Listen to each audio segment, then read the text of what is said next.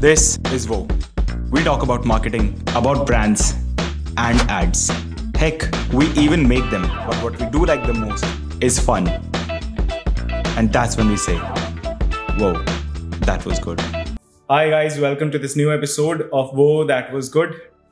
Today might just be a normal day for a lot of people, but not for me. I mean, how many times you get to host a podcast with your ex boss? Welcome, Rumi. How are you? I'm good, Karan. How are you? I'm very good. Uh, I mean, better than what I was yesterday. ठीक है तो How very philosophical. Okay. yes. मैं बन गया हूँ थोड़ा सा आपके साथ रह के क्योंकि आप थोड़े से आर्ट्सी हो ना अच्छा nice. तो uh, for everyone else, this is Rumi, my ex-boss. I worked with her at the Man Company. She's right now working on a very fancy project called Swiss Beauty. Pehle she was working with the Man Company and she's worked with amazing agencies like Lintas, Mudras, and uh, I mean, you can check out her LinkedIn for that matter. That is not for me to describe. But आज we'll be talking about what makes her a good marketing person. Like क्योंकि उन्होंने बड़े बड़े brands के साथ काम किया है तो I am sure you must be having some questions हम आपके क्वेश्चंस पिक नहीं कर रहे ये क्वेश्चंस मैंने लिखे हैं। तो ठीक है चलते हैं। रूमी आपको कैसे लग रहा है इस पॉडकास्ट में आके सबसे पहले ये शानदार एक्स्ट्रॉर्डनरी मैं जितना आपको जानता हूँ क्योंकि हम शायद काफ़ी अच्छे दोस्त भी ऐसा मुझे तो लगता है। तो, चलो मान लेते हैं हाँ है हाँ, हाँ, ओके। आप थोड़े से ना आर्ट सी टाइप हो आपको ना आर्ट। जैसा मुझे लगता है कि आर्ट अलग अलग फॉर्म्स में पसंद आता है। हुँ. तो ऐसी एक रैंडम क्वेश्चन आया कि आपका सबसे फेवरेट फॉर्म ऑफ़ आर्ट क्या my favourite form of art a very good question है nobody is ever ask me that they keep asking me about my professional career and just focus that but it's a very good question I think my favourite would be probably two things. One would be poetry. I mm-hmm. think I love that form of art. And second would be, uh, which I didn't know actually that I would love it so much, but I had gone for the uh, Van Gogh Museum. Um, Van Gogh was uh, visiting uh, here, Delhi. Mm. So they had this beautiful setup, a beautiful exhibition. 360 wala. 360 wala. Uh, I mean, it was mind blowing. While I've seen all the paintings and I've read about all the paintings, and you know the Starry Starry Nights, you know all of that, but the experience of a and the immersive experience of a 360 degree um, you know van gogh paintings you really feel that you are part of his painting. Like you've entered the painting, if that makes any sense. You've entered his brain. His brain, yeah, maybe. And you were part of those colors. And I felt that this is something what I'm feeling right now is something that I've never felt before. So maybe I would love to explore that more. But poetry has always been uh, first love. आपका favourite poet कौन है अब मैं रूमी बोल दूंगी तो कैसा लगेगा नहीं नहीं यार कोई फेवरेट ऐसा नहीं है बिकॉज़ uh, बहुत सारे ऐसे पोइट्स भी है जिनका नाम किसी को पता नहीं लेकिन जो लिखते हैं वो ऐसा लगता है कि आप माशाल्लाह क्या लिखा पर ऐसा होता है ना कि किसी पोएट का नाम अगर ना पता हो तो उसके नीचे रूमी लिख देते हैं। हाँ हाँ बिल्कुल सडनली वो बहुत ही फिलोसफिकल लगने लगता है किसी भी चीज़ के नीचे रूमी लिख दो। कभी किसी ने भेजे वो poetry oh so many so many so many times and I say yeah yeah I am very wise I just I say these things तो जैसे कल रात को I was at Clubhouse probably for 30 minutes. Mm. There was this group called Sukoon. Mm. And um, in that, there were at least 10, 12 uh, guys and girls who were just sharing poetry. Mm. And there was this one guy, his name was, I mean, it was written as Lost. I'm sure that was not his real name. but whatever he was saying was mind blowing. And I wanted to write it down, but uh, because he was saying so fast, I could not. But that's what I mean. I mean, you can't just say that a poet that you have heard of, like a Galib hi se acha likh sakte There are so many of these that you find just randomly on a Friday night at a clubhouse because you are just feeling ki, you know, uh, Oh, you want to hear poetry. You get that feeling i want to hear poetry and you don't know what to do. So then i went there i shared one of mine and i heard a lot of theirs and it was a very good experience. And then we all said bye bye and told everybody what a fantastic friday night we had. I know it's very weird but that's what we told each other and we left. Friday it was good. pay phone pay kisi ki poetry sun yeah. Such is life. How often does that happen? I'm agar lost if you are listening to this so uh, this is the woman who likes your poetry yeah. DM मत करना। नहीं मत करना। She is already married या Clubhouse पे मिलेंगे। Clubhouse पे सिर्फ़ बात करें। बात करेंगे। तो रूमी आपको कितना टाइम हो गया काम करते हुए वैसे total I started working in 2009 2009 तो is there anything that or any advice for that matter hmm. uh, you'd like to give your younger self, maybe 18 year old self, जब आप स्टार्ट ही कर रहे थे hmm. ऐसा कहीं कुछ interesting very interesting for that you know for uh, to answer this question i'll have to first uh, tell you that i come from a very small place hmm. i come from patna right hmm. um, your typical not small small anymore then i'm talking 80s okay i'm a 80s born uh, child. So way back when patna used to be a very small and that too i was not in proper patna. I was growing up in patna city which is like the old patna for right. people who do not know. Um, and a typical middle class family. The problem that happens for any child who is growing up in a small city is that you first of all do not have the amenities that a kid would have who's probably growing up in a in a tier 1 or a tier 2 mm. uh, you don't have those amenities you you always feel that you are one step behind than everybody else because you do not have the exposures you are not hanging out with people who are worldly wise you are not visiting places about which somebody would want to talk about so your world is very small so you're always extremely hard on yourself. Mm. Uh, you're always feeling that you are like like life has dealt you a shorthand or something mm. like that You're constantly trying to better yourself, but you don't know how because you're not consuming the kind of content the technology has not reached you i was an 80s kid so obviously there was a lot of disadvantages going for you and the confidence that you have is also not yours hmm. it's your parents confidence that is instilled in you you do not have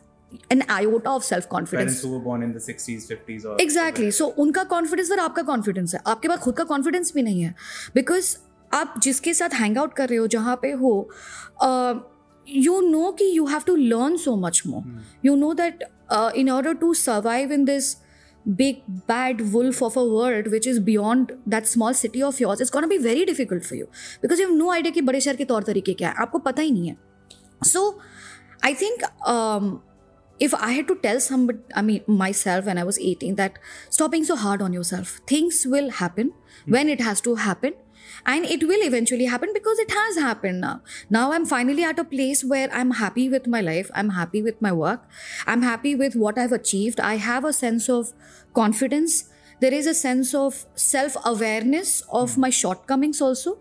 But that does not stop me from trying new things because. I also know ki I need to keep learning. So I'm also teaching myself a lot of things every single day. But there is the fear has subsided with time. And I think I was extremely hard on myself when I was growing up. And that I think would be true with a lot of kids born in 80s or, or 90s also for that matter that we were so hard on ourselves now unnecessarily bashing ourselves for no reason um, i think that's what i would tell i think i would have been much more happier a person growing up if I wasn't so hard on myself, like bloody all the time. So uh, you, com- you said coming from the small town, yeah. uh, you saw uh, changes when you were growing up. तो उस time पे से इसको मैं दूसरे angle से consider करता हूँ बिकॉज़ आपने इतना ज़्यादा काम भी किया है तो उस एंगल पे अगर लेके जाते हैं hmm. आप काफ़ी टाइम एजेंसी में थे yeah. फिर उसके बाद you move to brand side yeah. Similar similar to the earlier context जिसमें आप स्मॉल uh, टाउन से रह के फिर you grew up and you move to bigger towns did what you whatever you did मतलब करियर वाइज एजुकेशन वाइज तो agency से जब आप ब्रांड साइड में आए hmm. तो उस टाइम पे कुछ एक ऐसा चेंज दिखा था कि एजेंसी में ये चीज़ नहीं होती थी ब्रांड साइड में ये चीज़ ज़्यादा होती है? बहुत सारे यार ऐसे तो। जब आप एजेंसी में होते एक तो एजेंसी में जाने से पहले ना आपके रीजंस बहुत गलत होते हैं। हम्म। आपको ऐसा लगता है कि वो बहुत ग्लैमर होगा बड़ा मज़ा आएगा आप सेलिब्रिटी से मिलेंगे बहुत फेम होगा। बट एंटर करने के बाद समझ में आता है कि it it is such a difficult job it is such a thankless difficult job. Uh, because you are such a small cog in this big ass machine of advertising. Uh, but your role matters obviously लेकिन बहुत difficult है यार advertising की दुनिया। और फिर वो दुनिया ही आपकी दुनिया है। आपको लगता है इसके बियॉन्ड तो कुछ होता ही नहीं उसके बियॉन्ड लोग करते क्या है? Advertising is start and stop button right लेकिन जब finally I got a chance कि एजेंसी साइड से क्लाइंट साइड जाना है तब समझ में आया कि एक ब्रांड के जीवन में advertising is such a small cog in that machine in the machine of a brand क्योंकि from a client perspective if you look at it advertising is just one thing that he or she right. uh, does that person does because it starts from at least i can give you an example of uh, you know from swiss PD perspective chalo where i am at it starts with a new product hmm. right so npd which is a new product development it starts from there hmm. New product आप सोचते हो फिर उसका packaging का कुछ काम होता है। आप उसका रिसर्च यस एब्सोल्युटली उसका रिसर्च में इतना टाइम लगता है। आप मार्केट एनालिसिस करते हो आप प्राइस गैप एनालिसिस कर रहे हो तो ये रिसर्च का एक बहुत बड़ा फिर काम हो गया। उसके बाद फिर फाइनली जब वो प्रोडक्ट गया आर एन डी का एक बहुत बड़ा काम है। फाइनली उसका क्वालिटी चेक वो सब होके पैकेजिंग बन के वो प्रोडक्ट आए। अभी तक वो क्लाइंट का ही काम चल रहा है ना? हम्म। और ये सब कुछ आउटसोर्स तो है नहीं। You have to deal with all of this इसके बाद जाके फिर आपने डिसाइड किया कि ठीक है ये प्रोडक्ट को जो लॉन्च करना है अब कैसे करेंगे? तो ब्रीफ क्या होगी? कैसे लॉन्च करना है? कहाँ फिट होगा? इसका डिस्ट्रीब्यूशन स्ट्रैटेजी क्या होगा? इसका सोशल मीडिया स्ट्रैटेजी क्या होगा? इसका पी आर स्ट्रैटेजी क्या होगा? ये सब भी तो क्लाइंट ही कर रहे हैं। ये सब होने के बाद कहीं बीच में आता है एक एडवर्टाइजिंग का role which is a small role which is not and of a client's life right mm. and that's what i realized which was a biggest eye opening but at the same time it was so interesting because finally देखो nobody can master advertising ठीक है but after knowing like at least surface of it i was finally this side of the table where i could learn other things and चलो surface level ही सही but at least scratch करने का मौका तो मिला कि एटलीस्ट हम्म। थोड़ा एनपीडी भी सीखा थोड़ा डिस्ट्रीब्यूशन सीखा थोड़ा ऑफलाइन सीखा थोड़ा मॉडर्न ट्रेड सीखा थोड़ा जनरल ट्रेड भी सीखा थोड़ा ब्यूटी uh, आउटलेट्स के बारे में सीखा exclusive beauty outlets slash kiosks whatever you want to call it तो that is the big shift and बड़ा आसान होता है एडवर्टाइजिंग की तरह तरफ़ बैठना क्लाइंट को क्या आता है? बहुत आसानी है बोलना. And all of us said it at some point of the other but literally when you were but literally when you were client shoes ना तब आपको रियलाइज़ होता है कि यार कितना मुश्किल है ये काम। It's it's extremely difficult and but interesting and then you also feel कि हाँ ठीक है। अगर एडवर्टाइजिंग एजेंसी वालों को ऐसा लगता है कि क्लाइंट टाइम नहीं दे रहा नाउ आई अंडरस्टैंड क्यों नहीं दे रहा।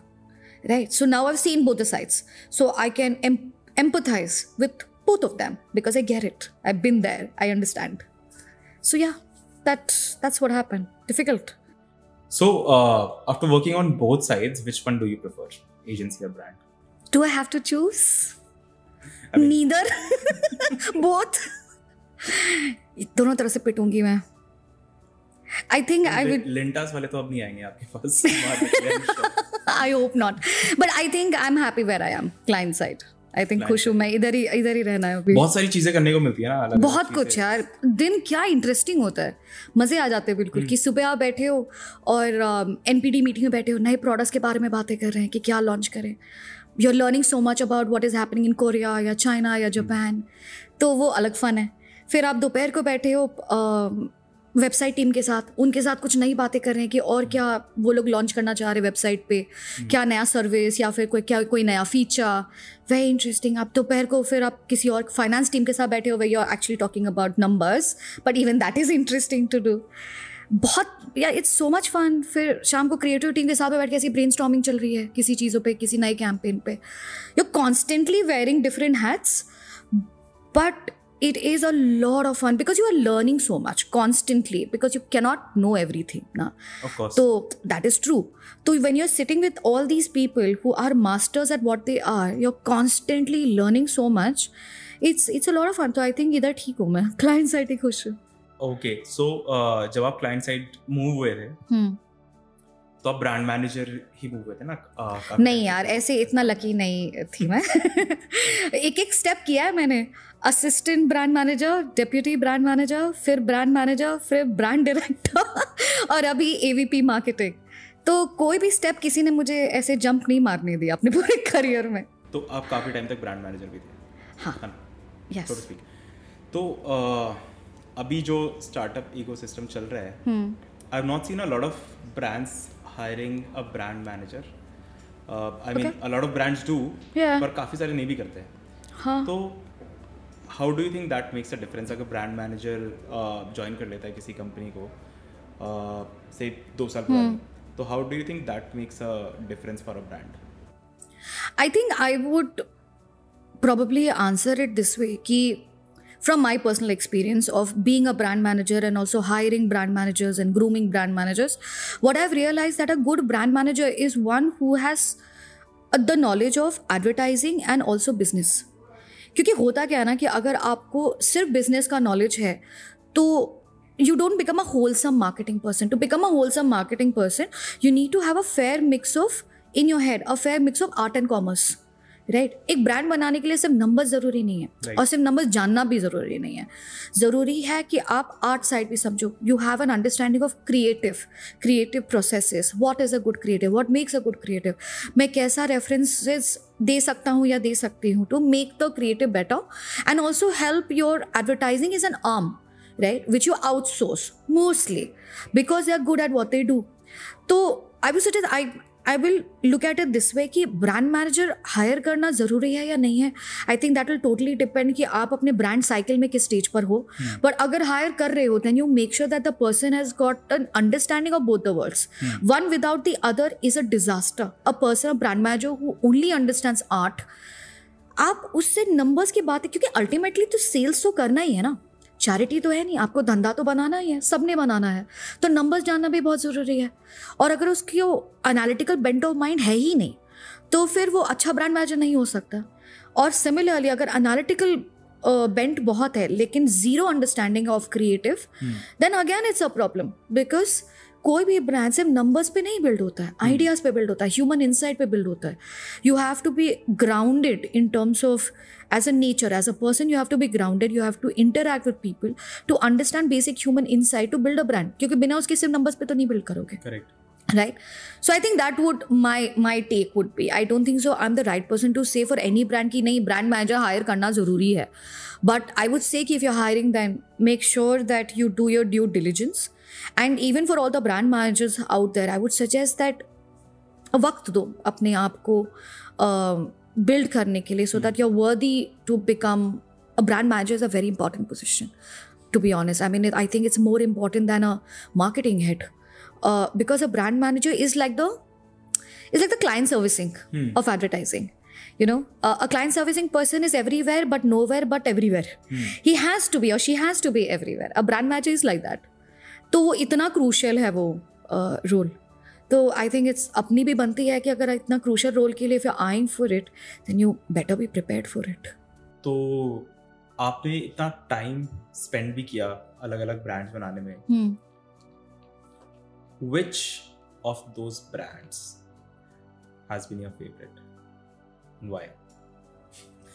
why all those brand managers out there do not kill me for my answer yes i have worked on a lot of brands but um,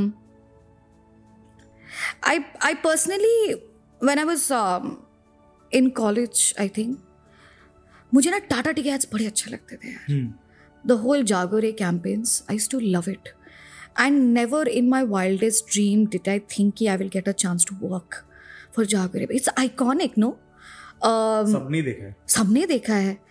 Jaago Re Jaago Re Jaago Re I mean that's that's tune it just it just I mean it gives you goosebumps right तो जब chance मिला finally and like I said right in the very beginning that don't be hard on yourself because things will happen it happened okay I did not I worked through life maybe somewhere I had to end up where I ended up. I ended up at Low Bangalore somehow, which was never the plan. Bangalore is way off. I was in Patna, man. Hmm. So Patna से grad करके मणिपाल में पढ़ाई करके बॉम्बे में काम करके अहमदाबाद में काम करके बॉम्बे में सीधा बैंगलोर पहुँचना I mean that's crazy but I somehow reached to the world of Amer Jaleel and Balkis of the world. I reached there and somehow Tata Tea happened to me. He, I got a chance to work for Tata Tea and work for Jagore and see magic happen. Like it's literally magic. You know, Jagore campaigns are magic. And you, even if you're like a fly on the wall, I am okay with that make me on the wall मैं उधर बैठी हूँ चुपचाप मैं कुछ नहीं बोलूंगी बस मुझे उस, उस रूम में होने दो जहाँ पे ये मैजिक हो रहा है and you got I got that chance to be So I think that will always be special for me. Um, all the Jagore campaigns that I worked uh, during that time, and I think that was the first time जब पहली बार Tata T ने शाहरुख खान को लिया भी था। So that was good fun good fun because that was again a new thing that Tata tea did क्योंकि उसके पहले तक कभी भी सेलिब्रिटीज़ नहीं यूज़ करते थे या फिर वो बाद में चल के वो सेलिब्रिटीज़ बन गए। बट उस टाइम पे वो लोग सेलिब्रिटीज़ नहीं थे but Shahrukh Khan was so he also did one campaign for Tata tea and it was meaningful you know it was not about just selling a product it was not about telling you ki chai acha hai chai pee lo it wasn't that you were trying to sell an idea you were trying to sell a better world you were trying to sell a, a better thought process so it felt like in my own little way i am making a difference अब कितना पता नहीं but सोच के अच्छा लगा कि मैं सिर्फ प्रोडक्ट नहीं बेच रही am trying to make a difference I am trying to change the society in some fashion because advertising plays a big role in changing the the fabric of the society so it right. felt like that plus it won a lot of FEs FEs is the uh, effectiveness award because uh, Lowlintas as a rule does not go into creative awards it's only strategy awards that we go into they used to go into um, but uh, Tata used to win that every year and I was part of that case study also The numbers that it use to do the kind of things that I use to hear from customers जब research पे जाते थे। I think वो favourite रहेगा among everything else because it was just such a dream so I think ये वाली चीज़ है ना आपके कमें भी दिखती है मतलब you saying that you want to build a brand या फिर जागो रे किस तरीके की कैंपेन्स करता था जो कि सोसाइटी को थोड़ा सा चेंज करती है।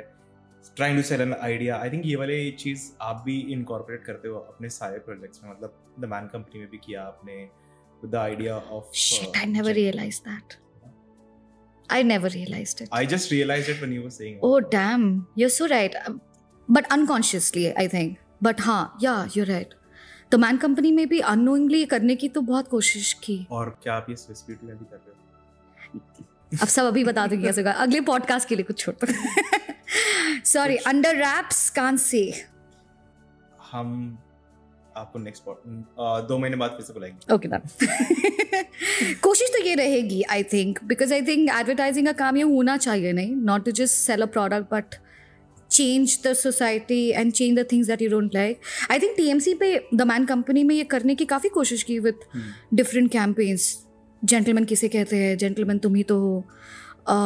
I think with all those campaigns या एंड किस हद तक सक्सेसफुल रहे वो पता नहीं बट देन अपनी तरफ़ से कोशिश तो पूरी की for sure even with the very first idea that I think जो मेंस डे पे किया था hmm. आयुष्मान खुराना से पहले। जेंटलमैन किसे कहते हैं इससे पहले?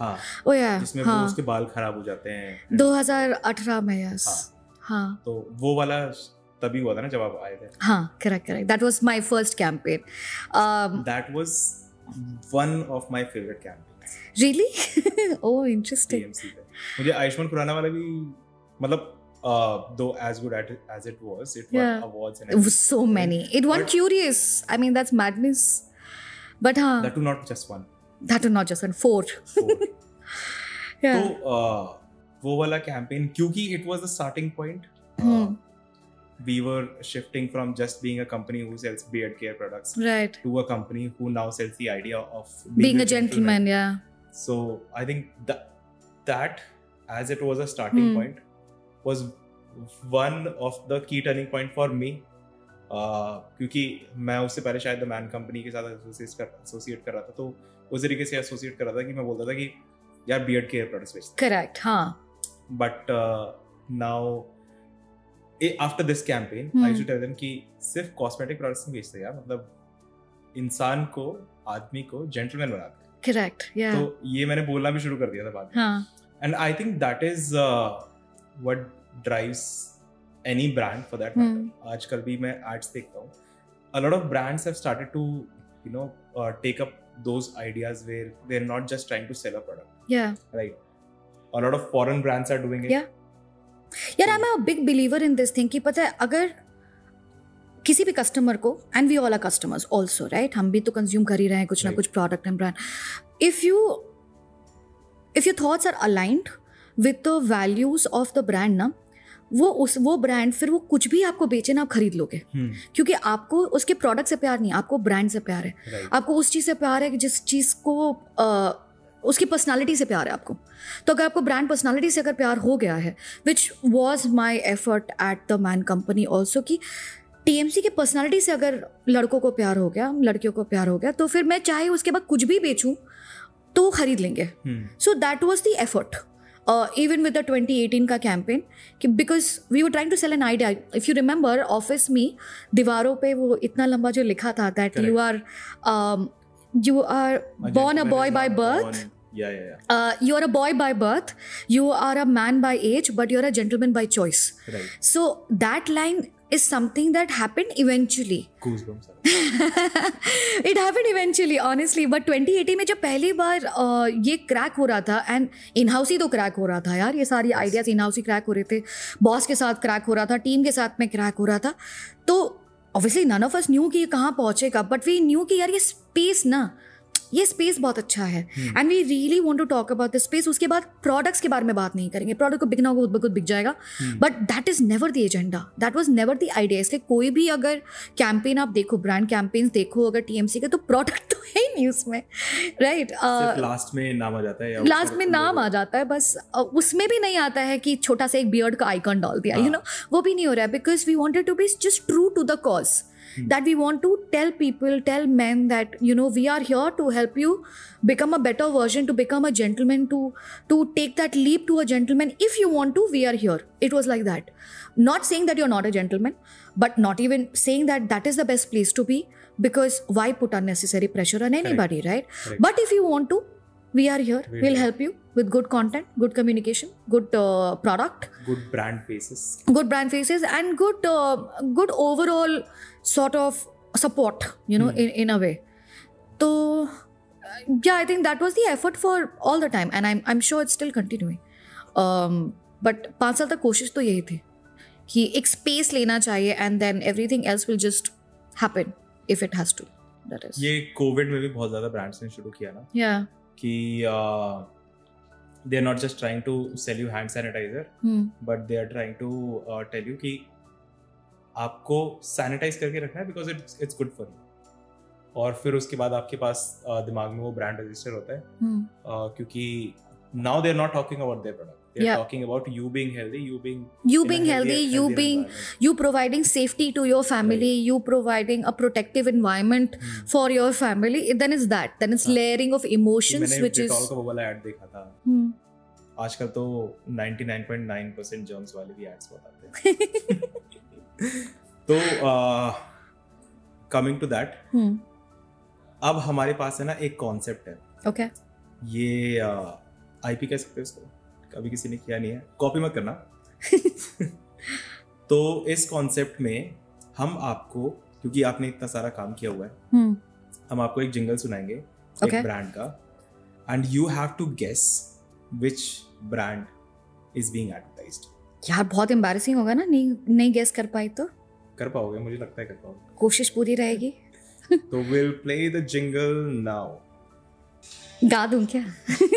कैटेगरीज सभी में कुछ बात है।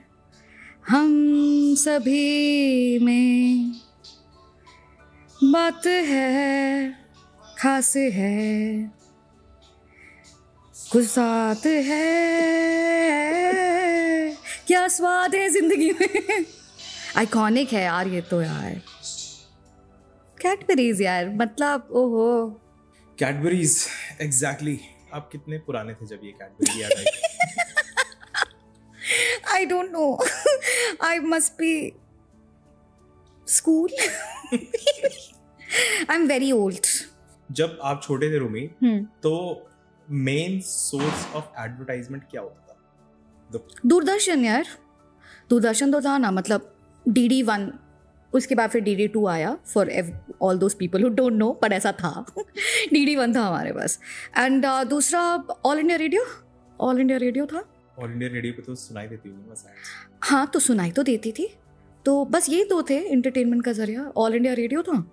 और उसमें हाफ़ द टाइम आप एंटेना रेडियो से निकल के आप ढूंढ रहे होते थे।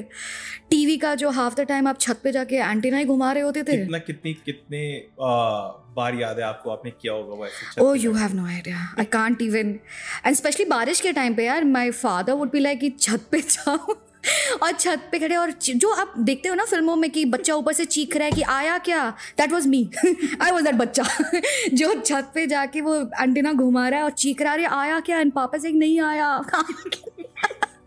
सब कर चुकी हूँ मैं। और बचपन में तो टीवी का वो भी होता था टीवी का एक कवर होता था। हाँ। तो उसके उसका एक शटर होता था। शटर पड़ता था। और रिमोट तो होता नहीं था। तो घर का सबसे छोटा जो बच्चा होता है ना वो रिमोट होता है। हम्म। तो मैं घर का सबसे छोटा बच्चा। तो मैं रिमोट तो मुझे टीवी के बगल में बैठा दिया जाता था। वो ऐसे ही उसको ऑन ऑफ़ करने के लिए वॉल्यूम कम ज़्यादा करने के लिए नॉब घुमाने के लिए क्योंकि चैनल्स नहीं थे ना। एक ही चैनल होता था। तो मैं रिमोट मैं वही कर रही हूँ। और अगर मैच आने वाला है तो बस कंटिन्यूसली छत से नीचे दौड़ रही हो आया क्या नहीं आया that is where your fitness journey started I have no idea, but it was it was a good period, yeah, because दो ही चीज़ें तो हैं। हाँ। एक टीवी का चैनल है एक रेडियो का है और बहुत ही मन कर रहा है तो न्यूज़पेपर पढ़ लो बट उसके अलावा तो कुछ है नहीं। बचपन में तो किसको शौक होता है न्यूज़पेपर पढ़ने हाँ तो बहुत ही मन कर रहा है हाँ। बहुत दिल कर रहा है तुमको तो न्यूज़पेपर पढ़ लो। जब कुछ है ही नहीं मान कुछ नहीं है करने को। तो आफ्टर अ वाइल ऑब्वियसली आपको घर पे थोड़ा नंदन और चंपक आने लग गया। पता नहीं नंदन और चंपक कितने लोगों को पता है बट यही आता। था तो नंदन और चंपक आने लग गया। बट वो भी बहुत ही राशन वे में आता था हाँ। कि टाइम नहीं खराब करना है पढ़ाई करना है तुम्हें तो बैठ के नंदन ही पढ़ते रहोगे। तो entertainment that's it then nothing then you just sitting at home Nandan पढ़ते टाइम डांटते थे आपके घर वाले। नंदन क्यों पढ़ रहे हो? पढ़ाई क्यों नहीं कर रहे? वो तो हमेशा। क्योंकि उनका हमेशा से था ना कि पढ़ाई करोगे तभी तो बाहर जाओगे। हाँ। तो शहर से बाहर कैसे निकलोगे अगर पढ़ाई नहीं करोगे? तो पढ़ाई पे बहुत ज़ोर रहता था। लेकिन उसके अलावा और करते भी कर, करने को क्या है?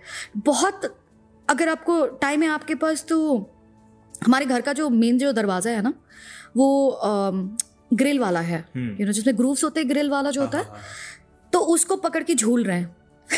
That is your evening time pass because you really have nothing to do तो उसको लेके झूल रहे हो आप। दिन भर यही कर रहे हो आगे पीछे झूल रहे हो। मम्मी ने भेज दिया कि जाके चावल सुखा दो छत पे और देखना कि पंछी ना आ जाए तो आप बैठे हुए वहाँ पे चावल को घूर रहे हो क्योंकि अचार डालते थे आप। अचार डाल रहे हैं। पापड़ सेक रहे हैं। पूरा समर अ, बस यही हो रहा है। हैं। गेहूँ सूख रहा है गेहूँ पिस रहा है गेहूँ यही हो रहा है। So I was a very simple तो पता नहीं आप लोगों ने गुल्लक देखा है कि नहीं? देखा है। Gullak is my childhood Gullak is literally my childhood कि लाइट चली गई सारा खाना लेके छत पे गए। जैसे ही छत पे खाना बचाया वैसे ही लाइट आ गई। फिर सबने बोला नीचे चलते लाइट आ गई। फिर सारा खाना लेके छत से। So I have so ground floor पे मॉम डैड फ़र्स्ट फ्लोर पे हम लोग रहते थे मैं और मेरी दो बड़ी बहन और फिर छत है। हम्म। तो छत पे गए फिर सबने बोला लाइट आ गई लाइट आ गई पूरे मोहल्ले से शोर आ गया लाइट आ गई। फिर नीचे गए जैसे ही बैठे लाइट चली गई। फिर यही करे और फाइनली या तो माँ या तो पापा दोनों में से कोई एक इरिटेट होकर बस दैट्स इट अब अब यही सो रहे हैं हम लोग। अब नहीं करेंगे। तो विच इज़ मोस्टली छत। तो फिर आप छत पे सो गए और फिर सुबह छः बजे फिर सारा बोरिया बिस्तर लेके फिर आप नीचे जा रहे हो। तो दैट्स चाइल्डहुड सिंपल सो छत पे सोने में मज़ा भी आता था ना? हाँ हाँ नीचे सोने से तो बेहतर ही है। So that was childhood classes with Rumi या फिर nostalgia with Rumi but I really feel bad for the people who didn't have this kind of childhood क्या मज़े आते थे यार पूरे शाम पतंग उड़ा रहे हैं। आजकल तो बच्चे सिर्फ़ आईपैड जनरेशन हो गई ना आप बोलते भी हाँ। आईपैड जनरेशन खाना खाते हैं आईपैड रखा हुआ है उसको देख के खाना मैं मैं गली में जाके मिट्टी में लट्टू खेलने वाला बच्चा हूँ। मैं वो हूँ। वो गोट मार्बल्स होता है ना मार्बल्स खेल रही हूँ मैं गली में गली के बच्चों के साथ कंचे। Because you have nothing to do क्योंकि आपको कोई गेम्स तो खरीद के ला के दे नहीं रहा ना। कोई कॉन्सेप्ट ही नहीं है।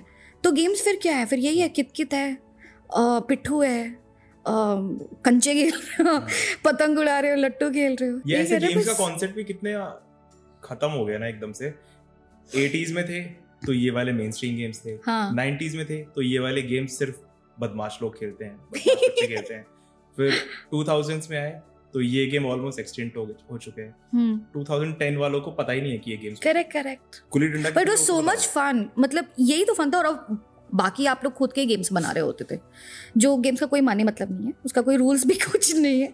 बट आपने सोच लिया कि अब यही है। तो रूल वही है जो जिसने सबसे ज़ोर आवाज़ में बोला वही रूल है. जिसने सबको मना दिया। वही रूल है फिर। Like Uno like plus two के ऊपर प्लस टू नहीं जाएगा जिसने कन्विंस कर दिया कि ये रूल है ये वही रूल है। करेक्ट सो या I think podcast is taken God knows what turn right now games classes game classes so we are ending this podcast now I mean this episode not the podcast obviously आपको कैसा लगा इस podcast पे आके? Was it fun for you super fun या I like the questions because मुझसे mostly बहुत ही सीरियस मार्केटिंग क्वेश्चन पूछे जाते हैं। मुझे बताओ एल टी वी आपका कितना चल रहा है? अब क्या यार? कुछ और पूछ लो मुझसे। सो या इट्स फन तो आप एक बार है ना बस एक चीज़ बोल है आपको। Okay. वो दैट वाज गुड वो दैट वाज गुड वो दैट वाज गुड